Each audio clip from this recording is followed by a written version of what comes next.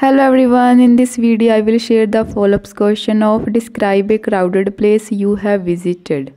Cue card. So okay, without wasting further time, let's begin. So the first follow-up is where do young people like to go? Young people often gravitate toward trendy urban sports, embarrassing the vibrant ambience of ca- cafes, hip eateries, and nightlife venues. Social hangouts such as music festivals, Art exhibitions and cultural events also captivate their interest. Outdoor adventures like hiking trails, beach outings, and recreational parks provide venues for exploration. Additionally, tech-savvy youths are drawn to gaming, arcades, virtual reality experiences, and online communities that cater to their interests, fostering connections in both physical and digital realms. So, move on the second question that is are people happy living in crowded apartments? The level of happiness in crowded apartments can vary. Some individuals appreciate the convenience, vibrant atmosphere, and access to urban amenities. However, for others, the lack of personal space, noise, and limited privacy may negatively impact their well being. Factors like cultural upbringing, personal preferences, and adaptability influence how individuals perceive and experience living in crowded apartments. Ultimately, happiness in such settings depend on individual perspectives and their ability to cope with the environment. So move on the next question that is which scenic spots will have queues of people? Scenic spots that often attract crowd include iconic landmarks like the Eiffel Tower in Paris, the Grand Canyon in the United States, the Great Wall of China, and the Taj Mahal in India. National parks such as Yellowstone and Yosemite in the US of Machu Picchu in Peru are also popular destinations.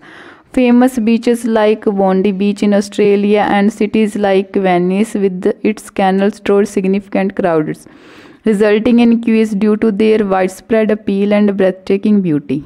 So move on the next question that is what are the advantages of living on a higher floor? Living on a higher floor offers several advantages. It often provides better views of surroundings, offering picturesque vistas and more natural light. Additionally, higher floors usually experience reduced street noise, creating a quieter living environment.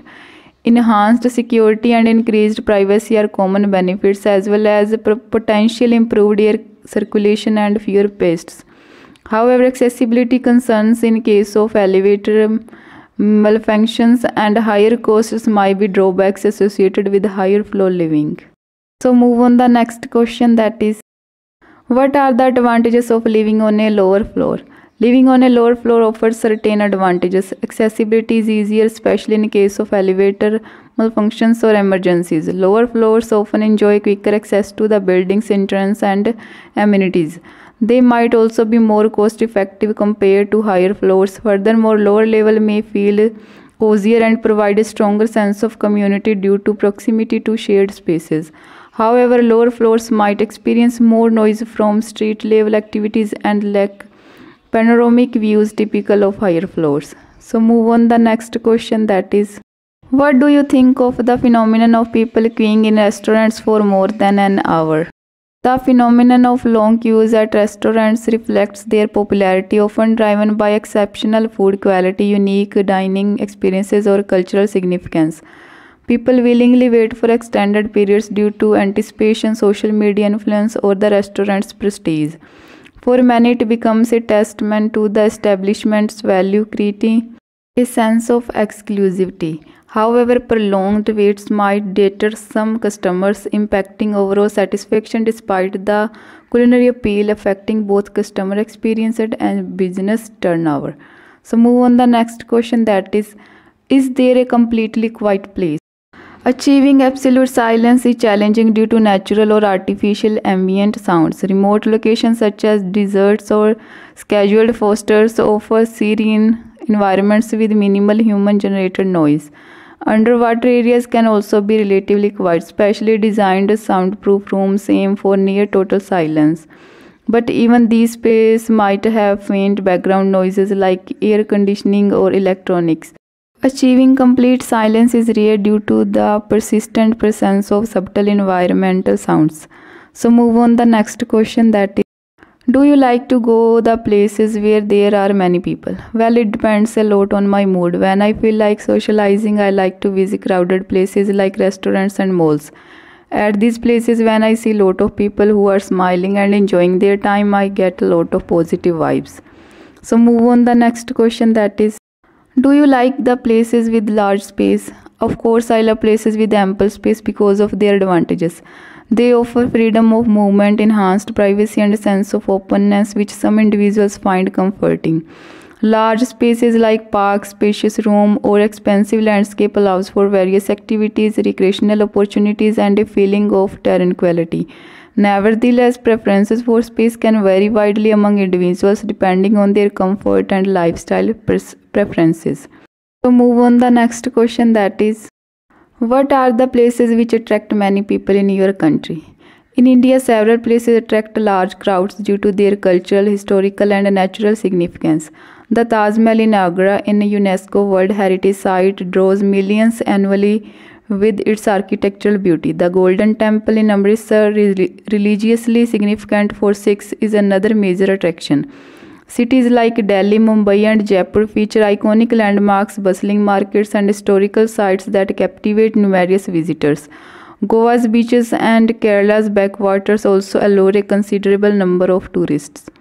So move on the next question that is what do you think is the most important thing of a public event? The most important aspect of a public event is ensuring a positive and engaging experience for attendees. Factors like clean organization, adequate facilities, and smooth logistics contribute significantly. Providing valuable content, entertainment, or relevant information tailored to the audience interests and need is crucial. Additionally, fostering a safe and inclusive environment, encouraging interaction and networking among participants, and leaving a lasting impression are vital for the success and impact of a public event. So, move on the next question that is what are the types of problems that can be better solved by group work? Group work is particularly effective for tackling complex problems that benefit from diverse perspectives and collaboration. Challenges requiring innovative solutions, brainstorming, or multiple skill sets often thrive in group settings. Tasks involving extensive research, large scale projects, creating problem solving, and decision making benefits from pulling various viewpoints and expertise. Additionally, tasks requiring multiple steps or division of labor can be more efficiently handled through group collaboration, fostering shared responsibility and collective achievement. So, move on the next question that is what kind of places do people want to go to when they want to be alone? When seeking solitude, individuals often gravitate towards serene and peaceful settings. Nature reserves Seclusive beaches, quiet libraries, or uh, tranquil parks provide opportunities for solitary reflection. Some prefer personal spaces like bedrooms, private gardens, or cozy corners in cafes to unwind. Retreats, meditation centers, or remote cabins in the countryside are also popular choices for those seeking solace away from the bustle of daily life, fostering a sense of calm and introspection. So, move on the last question that why is it uh, sometimes important for people to be alone? Solitude offers crucial benefits for personal well being and growth. It allows individuals to recharge, reflect on thoughts and emotions, fostering self awareness and mindfulness. Being alone encourages creativity, independence, and decision making skills. It enables people to decompress from social pressure, reduce stress, and cultivate a deeper understanding of oneself. Alone time also promotes clarity of mind, aiding in problem solving and providing space for introspection and personal development. So okay everyone that is the end of follow-up question. If you like my videos please like, share and subscribe my channel. Thanks for watching. Thank you.